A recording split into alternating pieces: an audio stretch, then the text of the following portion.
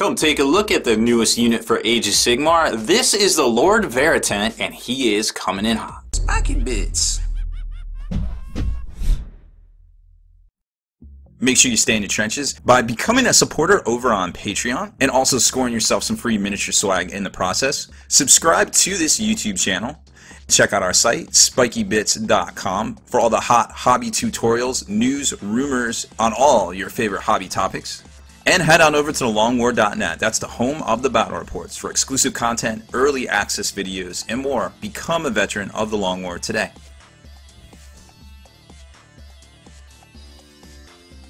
Alright, Hobby Maniacs, Rob Baer here with this week's big new release. Now, before you get on the hate train about why Games Workshop only put out one thing this week and blah blah blah blah blah, well, you know, Let's take a look at it. Games Workshop is a big, big, big, big, big, big company, bigger than most of us can comprehend, and they have budgets. And long story short, they have a production budget, and the production budget says, hey, you can make this much stuff in a quarter, and now we're ramping down into a new quarter of production, which we will see ramp up with, of course, the burning of Prospero box or Prospero burns, whichever.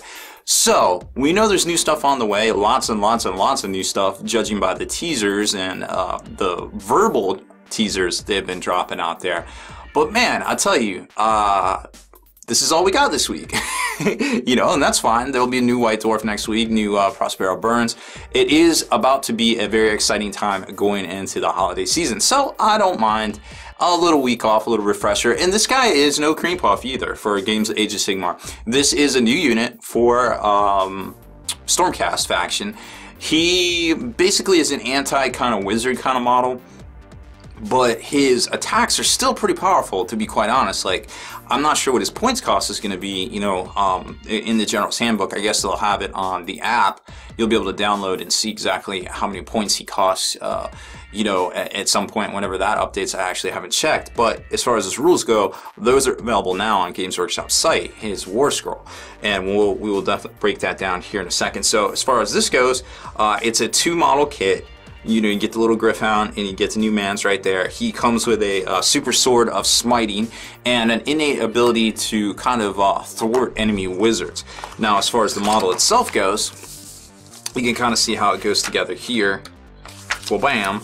Uh, that it you know it's it's your typical spliced computer kind of generated thing. It's not going to lend itself well to uh, conversions although you could swap out the heads and perhaps the arm with a different staff as you can see right there clearly. So you could change the head you can maybe change the the sword maybe change the staff a little bit. Um, as far as the Gryph-hound goes pretty basic you know very similar to what we saw in the uh, uh, Warhammer Quest game and I think there's another one out there too. So nothing too crazy. Now something interesting about this uh, this particular piece or instruction manual here is it says uh, scan the QR code for War Scroll. So if you scan this thing right here, it takes you to Games Workshop's uh, product listing, and the same same for this guy. It takes it to the product listing on the website. So I'm almost wondering if that's one of the things where you can download the War Scroll for free, of course.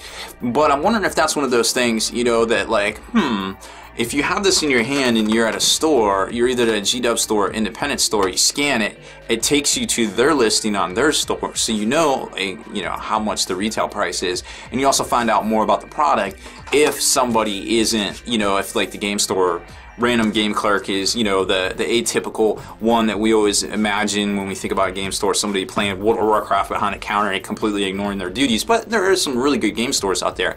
Um, but they're kind of few and far between too. So sometimes you don't get that personalized service and attention. Somebody walking up to you telling you what this what this model does and what this unit does and how important it is to you know, playing uh, Stormcast faction, I'm sure if you were in a Games Workshop store, it would. But you know, it's cool to see that functionality and being able to find out exactly about it and finding out more about the model itself. Because again, you can't, you know, if this is in a clam pack like this, really all you can see is this right here to scan it.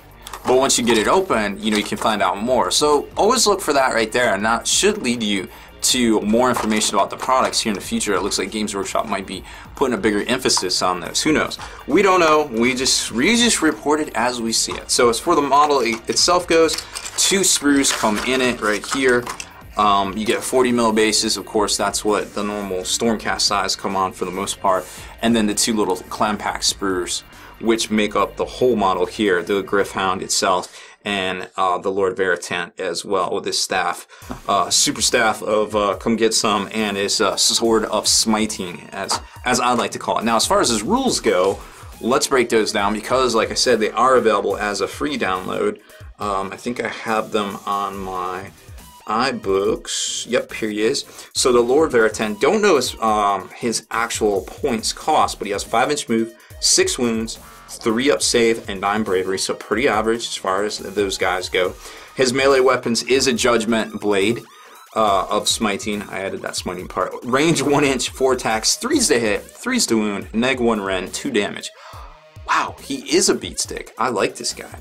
Uh, his abilities are his Lantern of Abjuration allows a Lord Veritant to unbind spells in the same manner as a wizard. So remember, if you're within 18, uh, you roll your 2d6 versus their 2d6. If you beat them, you have dispelled it. Sanction in your hero phase, the Lord Veritant may pray for Sigmar to sanction his sorcerer's foes. If they do, pick an enemy wizard within 7 inches and roll a die. On the roll of four or more, the player is hurt and the wizard suffers D3 mortal wounds. Ooh, that's brutal. And then bound in service. After setting up the Lord Veritant, you can immediately set up one Gryph-hound within three inches of the model. If you choose to do so, the Gryph-hound is bound to the Lord Veritant and makes four attacks with its beak and claws, rather than two if the target is the target unit is within three inches of the Lord. In addition, in your hero phase, you can Add three to the roll for the Lord Veritant's Lantern of Abjuration if the Gryph-hound is within six inches of an enemy wizard. So if you get that uh, Gryph-hound within six inches of an enemy wizard, you're getting plus three to your spell roll. So it's 2d6 plus three, average of 10. Seems pretty good for dispelling uh, spells out there. So if you got, if you're going up against an army that is really whooping your butt with a lot of spells, which would be kind of weird because you can remember that in pitch battle, you have the rules of once. You can't cast the same thing more than once.